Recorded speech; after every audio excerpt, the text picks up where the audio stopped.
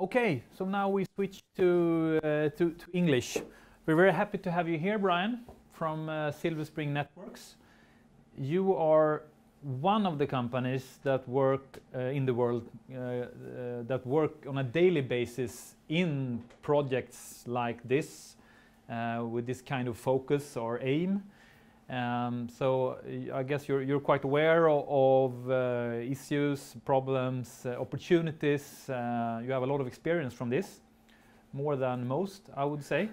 Um, so we're very happy to have you here. Um, I think maybe I should say also since you are, uh, please come up, since you are uh, from one of the companies, as they say in Swedish television, that there are other suppliers also of these of kind course. of services. Of course. uh, but it's really great to have you here because you work with this every day, more or less. Great. So. Uh, well, no, thanks for thanks for having me, and thanks for putting up with my English as well. Um, so uh, yeah. Yeah. Take okay, it away. Great. Well, thanks. Today I was going to talk to you a bit about um, really what we're seeing happening in the smart cities market.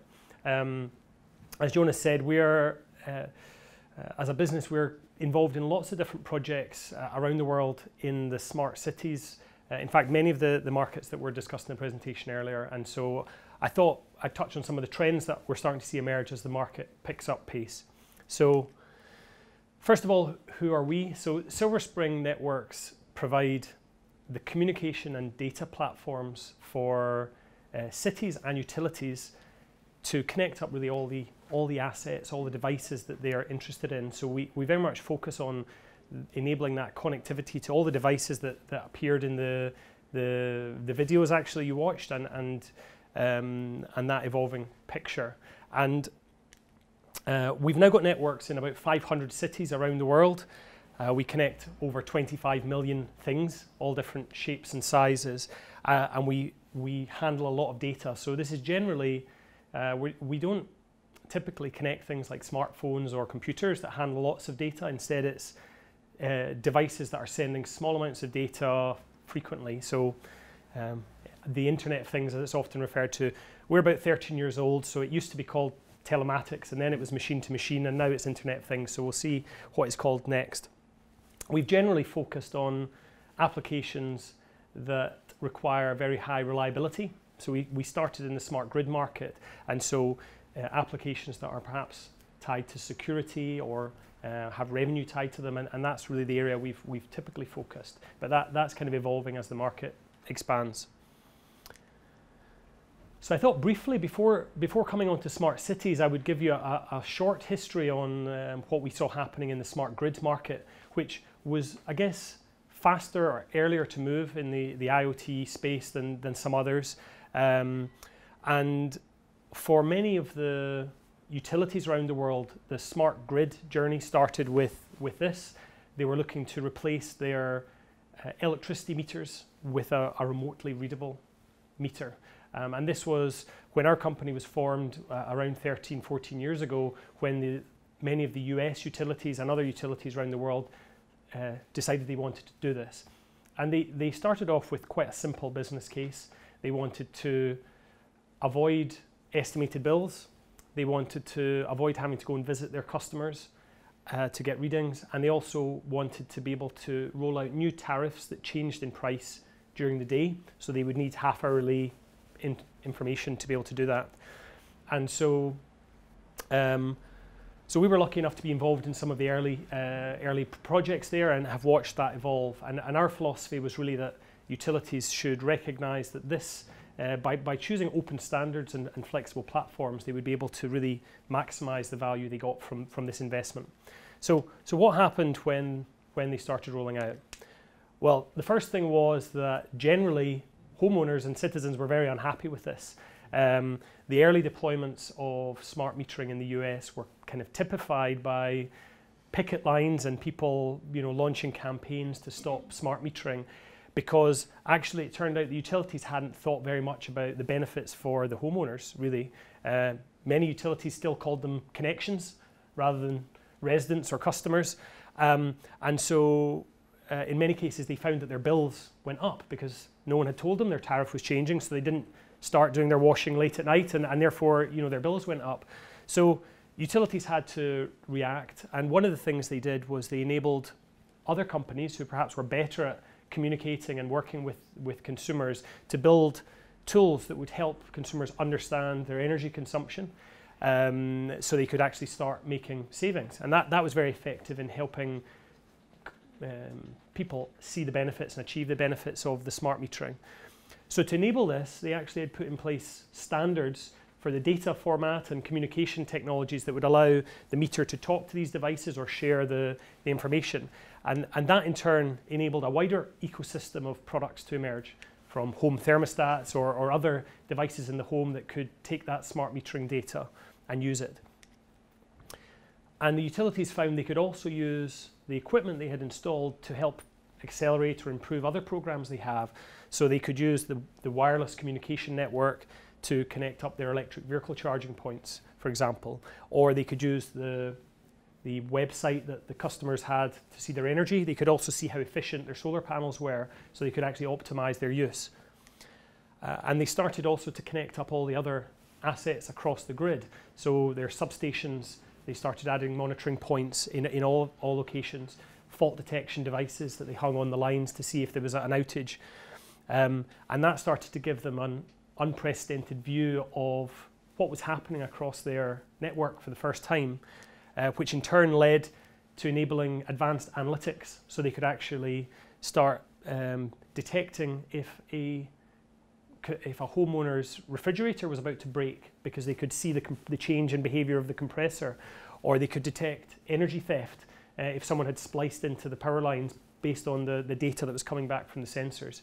And so I guess the overall trend that they saw was that the, the original investment in the smart meter uh, turned out to be a platform for ongoing innovation that, that still is, is growing in value today. Um, so if we now look at cities, is, is it really the same thing that we're seeing happening there?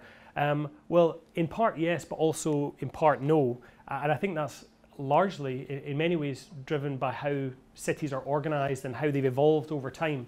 They're much more organic uh, um, organizations, if you want to think of that. They're lo- more loosely organized and different structured, which means it's, it's, there's more challenges there for cities to, to, to kind of take the same path that, that utilities have. Um, but what's certainly true is, as we've seen, cities are very active now in exploring how they can improve uh, services ac- right across the, across the city um, using smart technology. So cities are looking to connect a whole range of different devices, and these are some examples of what we're speaking to cities about today. And it's really an, an ever-growing list, um, generally with an aim of improving the services they offer to their to their citizens uh, or enabling new services. Actually, um, and one thing that's interesting is we're seeing smart lighting playing a really important role in this, uh, and that's largely because of the business case for LED replacement and smart lighting is very straightforward. It's very clear uh, with a predictable payback uh, based on the energy savings, which actually enables cities to move forward quickly. And we're seeing cities around the world changing their, um, their lighting to LED uh, and in the process rolling out flexible control and management platforms that they can use. Whereas if we look at many of the other use cases, they're still at a, an exploratory stage. People are trying to understand the right technology, uh, the right business models to make these work. And so um, lighting is, is, is playing a really important role. Can I ask you a question regarding that? Uh, when you say then that, so, so maybe in some of the projects projects that you have done, um, I take take it that it's lighting part of the city, let's say, that are have the initiative in this question a little bit because because of the LED replacements at the same time, and then they can yeah. uh, put more uh, uh, put more uh, yeah. Uh, yeah, so I think so. So, so cities around the world are making a transition to LED, and uh, an increasing number are are using that as an opportunity to roll out a control platform. And I think now that there's there's solutions in the market that are um, flexible and can enable a range of other benefits in parallel, that's um, cities are, are kind of choosing that model so that they can help improve or fast track these other initiatives. But as you say, it's coming often from the lighting department, and they're kind of a key stakeholder in that process. um, which interestingly ties with the, the, changing role of a lighting department within a city. Um, um, and indeed, the new technology significantly changes what lighting can do, but also what those teams are, are responsible for. So, uh, so I've picked out four trends I think that are um, uh, the, the, smart city market has been probably the term has been around for 10 years, and certainly there's been activity over the last uh, over that period. But I think in the last three years we've really seen a, a, an increase, and we're starting to move into the, the kind of next phase of, of adoption. So these are the trends we think that will inform that. So the, the first is that um, I think it's now being quite widely recognised that no one provider can give a city a smart city. Uh, to your point, you know, there's more, there's other providers available, and indeed, I don't think anyone, uh, the, the, idea of uh, giving a, a, big check to one big tech company and they'll give you a smart city, I think that, that model has been shown to not really be effective. And that's in part because every city is different. Um, while they might have the same underlying challenges, the order they want to address them, the, the, the legacy they have of, of solutions in place are different. And um, and so as a result, there's no silver bullet for, for cities. And so increasingly, we're seeing that an, an open ecosystem approach is what cities are looking for, where solutions are expected to work uh, and collaborate with, um, with many other solutions, either that exist today or that will come in the future with businesses of all sizes. Um, and I think a great analogy for this is if we look at the, the mobile market. If we go back 15 years, the market was dominated by players who were very trusted technology. It worked well, um, but ultimately everything was developed in house, and therefore innovation was relatively slow and incremental. And they've been completely uh, superseded by those providers which have built their business model around enabling others to innovate on top of their platform. So it makes innovation much faster and much more flexible. And it means we all have the same phone in our pocket, but each each one of us it does a hundred different things, which is tailored to the way we, we live our lives.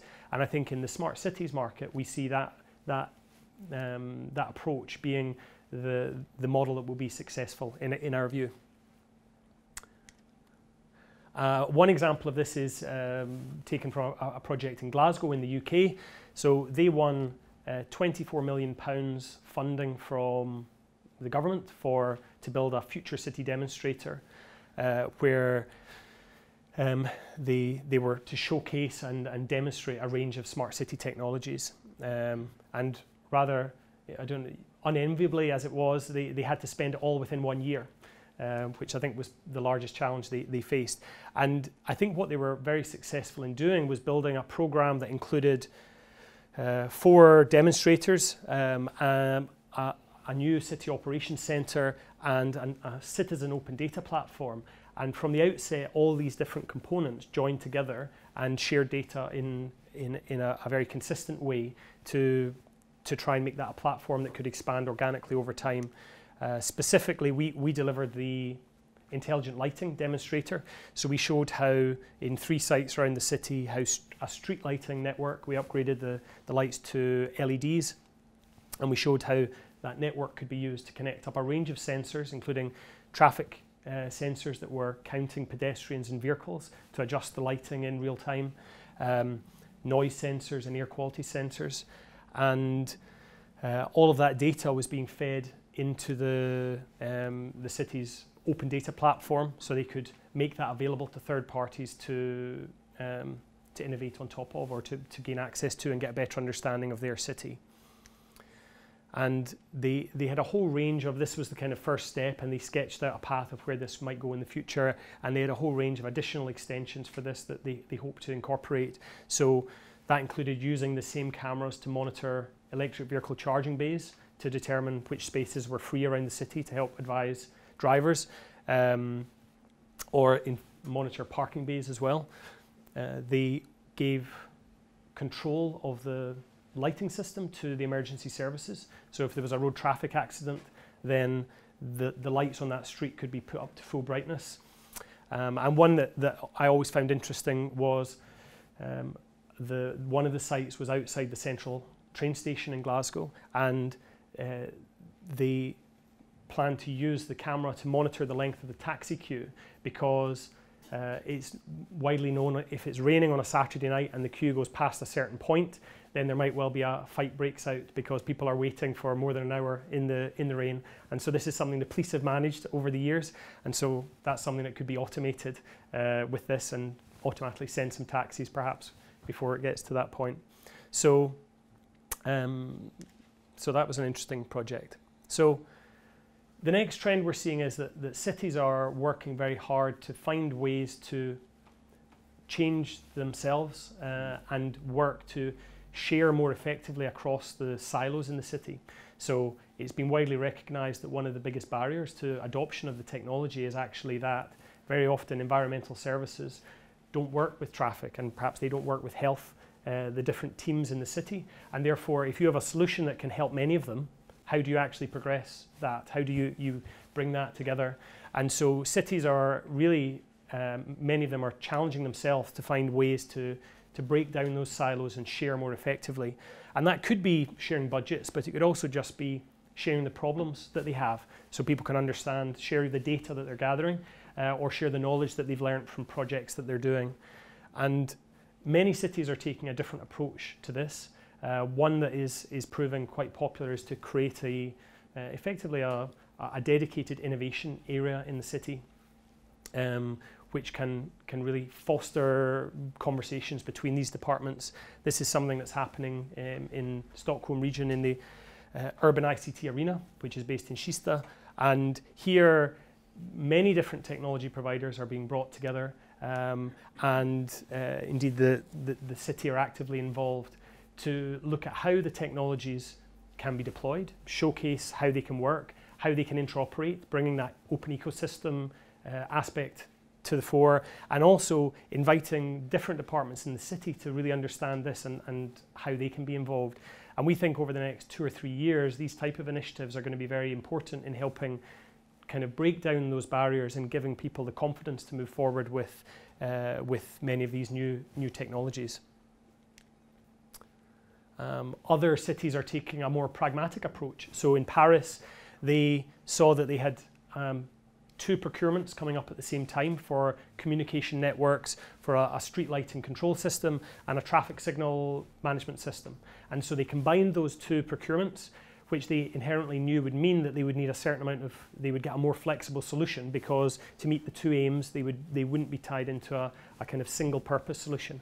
And so we have now rolled out a communication network across Paris, connecting up 190,000 streetlights and uh, several thousand traffic signals.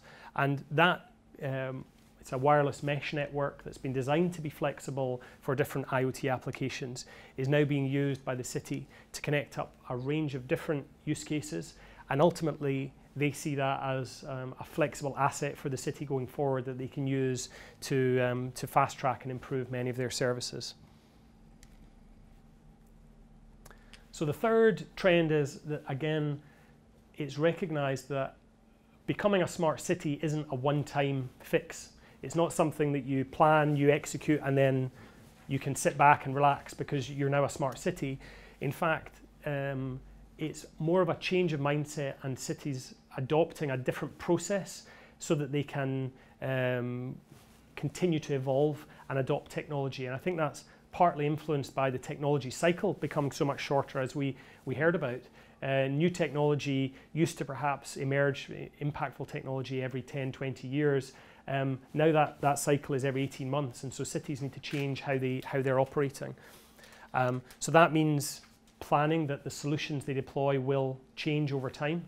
Uh, so simple things such as being able to upgrade the, the firmware and the software on the devices that they deploy in the field because we expect that they will evolve um, over time as new features are available or uh, perhaps security needs to be upgraded. Um, and also linked to that, changing how cities engage with technology companies, um, how they structure contracts and, and how they shape those procurements with a plan that the solution they're buying today will actually evolve over time. And indeed, they might need these different programs to somehow work together in the future in a way that they don't they can't predict today. Uh, an example of that is in um, Copenhagen. So again, there we won the contract for connecting the new lighting control system, so 20,000 lights across the system, sorry, across the city, with a primary aim of uh, reducing energy and, and reducing carbon emissions.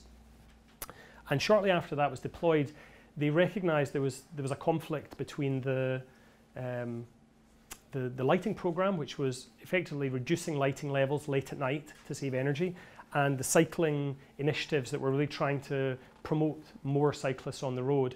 And so the city helped foster a collaboration between us and the provider of the traffic signal control system, and we put in, put in place a system that um, we have sensors watching the bike lanes at junctions, and so as cyclists set off from the traffic lights, the street lights above them will go brighter, so they're more visible to drivers who might otherwise have jumped the lights.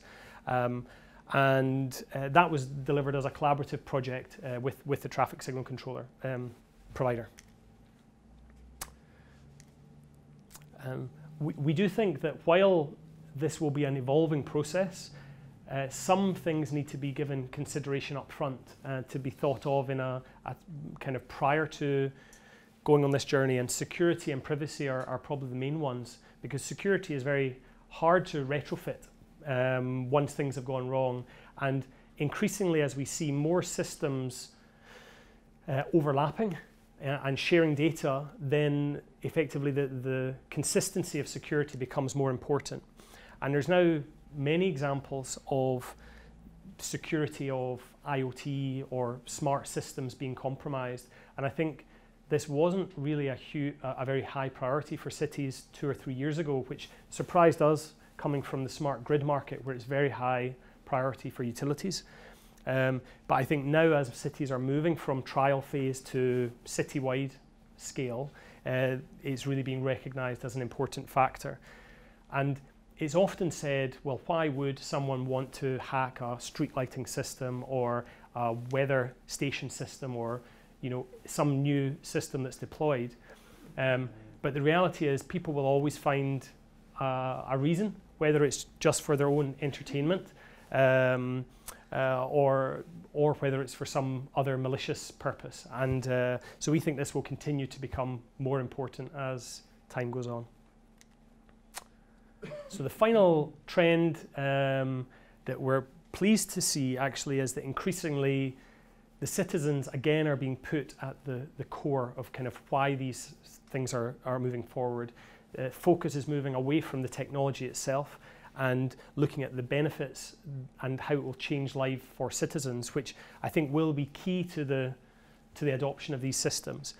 And you know, there's various ways that that manifests itself.